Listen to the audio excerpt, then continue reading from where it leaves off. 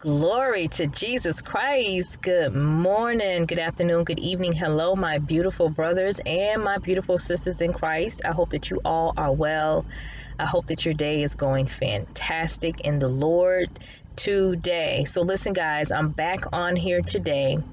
Um, and I know you guys are looking at this scarf that's on my head. I don't typically do this, but I'm doing this because, well, I was lazy and I decided that I didn't want to do anything to my head today. So I put this scarf on. I also wanted to point this out and clarify this because I have a perception about head coverings. Um, and so I don't want you guys to think that I'm putting this on my head because I'm prophesying, okay? So that's another whole story. If you guys want to get more input on how I feel about head coverings, I actually did a podcast. Our podcast is called Prophetic Meet, and I actually have a um, playlist that you guys can visit. And one of the controversial topics that we discussed in there was head coverings. Okay, so I just wanted to clarify that I don't have this on here because I'm going to prophesy, but I have it on because I'm just lazy and I haven't done anything with my head. So, anyway, guys, I have something that I want to bring to the table to you guys today. This is something that the Lord has given to me in the last 48 hours, um, and it's very. Um, significant. It's, it's, it's important that you know this. It's going to encourage you.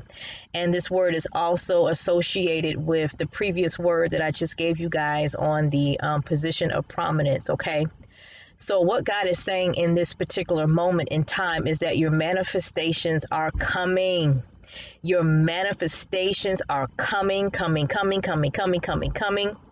And God wants you to look for the signs. He wants you to look for three signs, is what He's given me. And there may be more, but the Lord only gave me three signs. Glory to God. Hallelujah. Okay. So, so, so, guys, the Lord um, wants you all to stay focused on Him in this hour.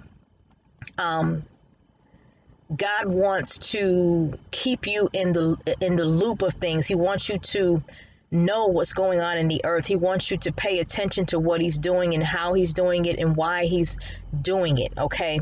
And so he's using me to help you guys stay focused on him. To stay focused on what he promised you, to stay focused on the plan for your life, to stay focused on those things that he wants you to accomplish during this time, okay?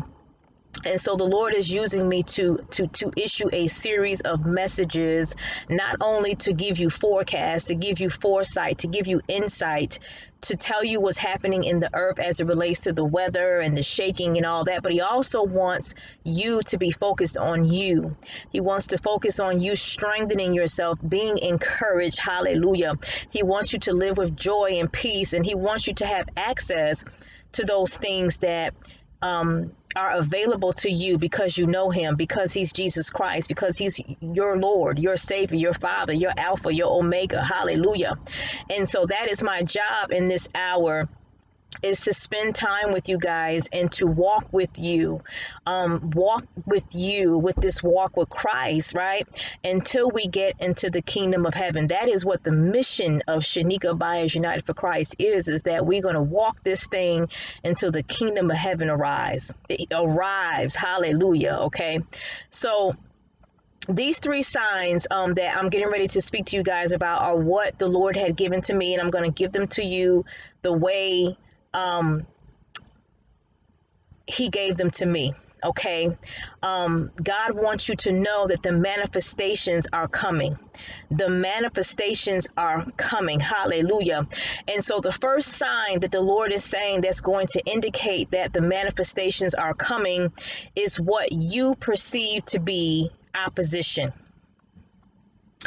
God is saying that you all are experiencing opposition and there are obstacles that are in your way and you're perceiving them as thinking that the devil, hallelujah, is succeeding at sabotaging your future. God is saying that you think that it is the devil that is disrupting your family. God is saying that you think that it is the devil that is wreaking havoc on your health that the devil is stealing your promises, hallelujah, or just the enemy is just simply trying to make your life miserable, right? Many of you are probably thinking that right now. But but but God is saying that even though it is the devil's job, even though it is Satan's job to still kill and destroy, okay, this is not what is currently happening for the righteous. Let me say this again. God is saying that even though it is the enemy's job to steal, kill, and destroy, this is not what is happening for the righteous in this moment in time. The Lord is saying that the opposition that you are currently facing is what He will call a faith test. Jesus. God is saying that the righteous are undergoing a faith test, meaning that God is allowing things to transpire in your life because He wants you to be tested. God wants to see your heart. Um, God wants to see where your heart truly is for him. God wants to see if you um if you're actually ready for the promise that he wants to give you. Um, God wants to make sure that you're strong enough to handle what it is that He's getting ready to release in your life. Okay. God wants to make sure that you are ready for what He has prepared for you. Hallelujah. Moving forward. And so God is saying that the opposition that you are currently experiencing is intentional by Him. He is the one that is allowing it. He is the one that is strategically allowing for certain things to take place, and then he's pushing other things back because he ultimately wants to see how you are going to respond to the situation. God wants to know how are you going to determine what to do next based off of what you're going through.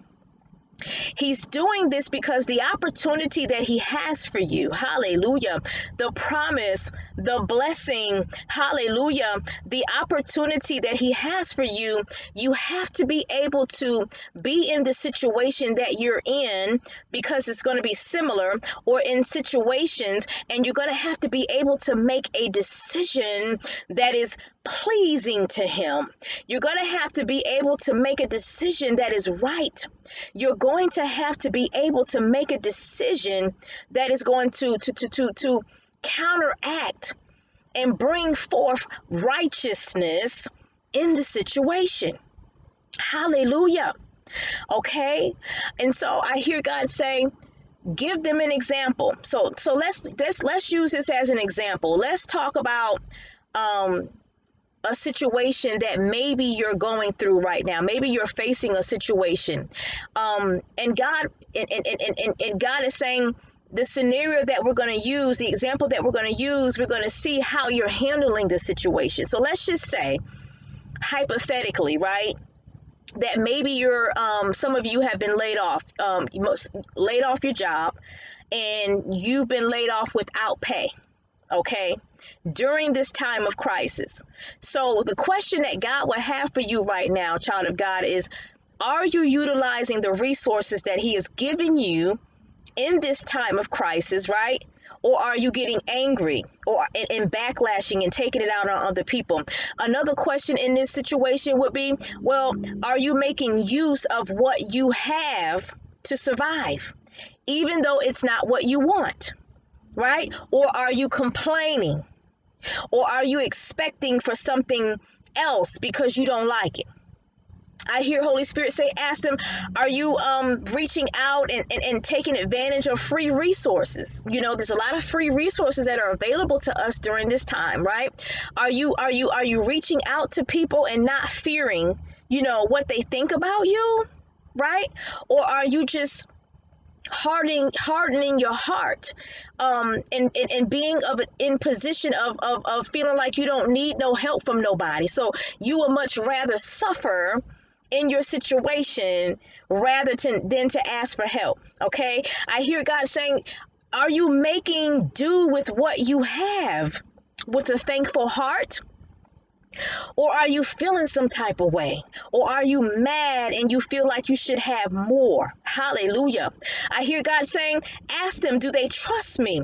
Do you trust that God is going to make provision for you in this hour? Are you trusting that God is going to do what He said He was going to do, even though you can't see it?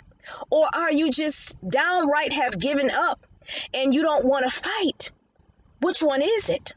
Okay? And, and and I also hear God saying, tell them this, ask them this. Are you helping others during this time? Are you helping others that are in need, right? Even though you yourself don't have the time, you don't have the money, you don't have the resources, okay? You don't even have the means for yourself.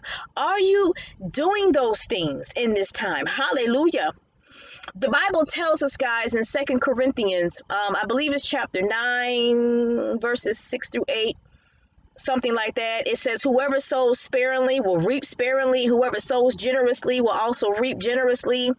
Um, and God requires that each one of us give what we have, okay, with our with our hearts, to give um, with without being reluctant, um, to give without being under compulsion, to give um, because you're doing it for God and you're doing it with love and you're doing it with cheer. Hallelujah.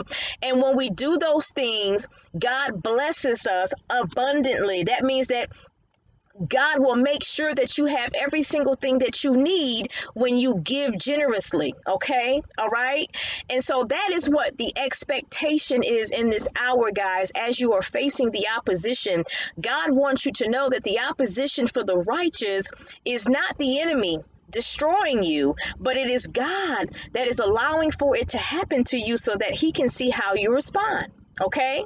So that is the first sign that the Lord gave me that He says will indicate that your that is indicating that your manifestation is coming your manifestation is coming your manifestation is on the way okay so now guys the second sign that god gave me and remember, this sign right here is what we talked about in the previous video of prominence, the position of prominence video. You have no apparent control over your circumstances. That is the second sign. Your situation is out of your control, okay? You have no control over anything at this point in time. Um, you, you, you have no control and everything just kind of looks like chaos. Things look disorganized. It feels like you have no freedom. Um, it feels like it, it, this the situation that you're dealing with is making you feel weak and weary. Um, it just feels like you you you, you have no say so hallelujah uh, we talked about um, joseph. It feels like you're in a prison. Hallelujah. And you can't get out of the prison. The situation looks like this the the, the, the, the coronavirus. The coronavirus that we're dealing with right now um, we don't have any control over how it's being spread. We're still trying to figure out a cure for the virus. It's kind of like that right? So guys the Lord is saying in that is that as believers, we should not be looking at it in that context. As believers, because we know who God is, because we know that God is almighty, hallelujah, because we know that God is the Alpha and the Omega, because we know that God knows the beginning to the end and the end to the beginning, right? We know that God has complete and total control over the earth. He has complete and total control over every action that happens in the earth. He, he has complete and total control over every person in the earth. Amen. And so we know that all things, all things have to go through the approval of our Lord and Savior. And we know that if anything, with anything, God is going to get the glory in everything. So, guys, with us knowing that, right, as believers, us knowing that God is in control, then we should be assured that the manifestation is coming. Why? Because God has to stand on his promises, right? The Bible tells us that. The Bible implies that in Isaiah 55 11, that God has to honor his word. God cannot lie. God's words cannot come back void. Hallelujah. Hallelujah. So, here, guys, we can see that the second sign indicates that our manifestations are coming. Our manifestations are coming. Why? Because God is in complete control. Even though we have no control over the situation, God has control over all things. Hallelujah. And so, with that being said, we know, right? We know that that that that the manifestation has no choice but to come. Hallelujah. Okay? So, guys, let's get to the third one. I'm sorry about that. My phone just started ringing, y'all. The third sign, the third sign, the third sign, this is the third and final sign. The third sign is that God gave you something, okay? Um, God is saying that He's given you dreams. He's given you visions. He's given you ideas. We talked about this too in the past. Um, and he's given you um, um, confirmation um, through prayer and he's given you unctions in your spirit okay? And god is saying that through those dreams through those visions through those ideas he has given you um, reassurance that the manifestations are coming because this is a way that God communicates with us, okay? God communicates with, with us in these ways to help us see where what his will is for our lives, right? And where he wants us to go and how he wants to see things end up, okay? So God is saying that during this time of stillness, all right? During this time of isolation, during this time of of of of, of um uh, quarantine is what they will call it. God is saying that many of you have been led to revisit your dreams, your ideas, and your visions because you've been prompted by Him to do it because it is His sign that the manifestation is coming. And then you guys also remember that um, I recorded a video called Payback in a Word from 2018, which also encouraged you guys to revisit your dreams and your visions and your ideas. And, and I'll link that video to this one um this is the sign. God is saying that these are the two ways that He has been prompting you um, in this hour to pay attention to your actions, um, pay attention to the uh, to, to, to, what's happening around you. God is saying that your ear um, should be listening to the voice of the Holy Spirit. You should be hearing more from the Holy Spirit more than anything during this time. Why? Because this is the time that He's asking. All of you should be spending more time with Him. You should be reading your Bible more. You should be fasting. You should be praising Him. And so God is saying that many of the things that you're going to hear from Him outside of the visions and the dreams is the is the is the Holy Spirit placing that unction in your spirit, letting you know, okay, child of God, this is coming, this is on the way. It uh, prompting you to remember those things that you've seen before, prompting you to to go back to those specific dreams, um, to go back to those specific prayers, um, to go back to that woman of God or that man of God that you've spoken to in the past concerning your life circumstances, God is saying that He's been prompting you to do that in this hour. And He's saying that this is the third sign. He's saying that this is the sign that He needs for you to understand is linked to the manifestation. God is saying that your manifestations are coming. And for many of you with the manifestations is going to come that that that position of prominence that we talked about in the previous video, okay? All this is tied into to what to, together. Okay? So God wants you to be excited. God wants you to be encouraged in this hour and know that this is not an hour of darkness for the righteous. This is an hour of light for us. This is an hour for us to get ourselves together.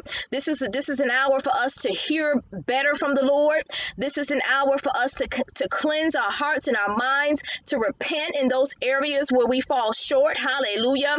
To to to to um this is a time for us to seek deep what our needs and what our desires are. Hallelujah. To examine our own minds and our thoughts and our processes. Hallelujah.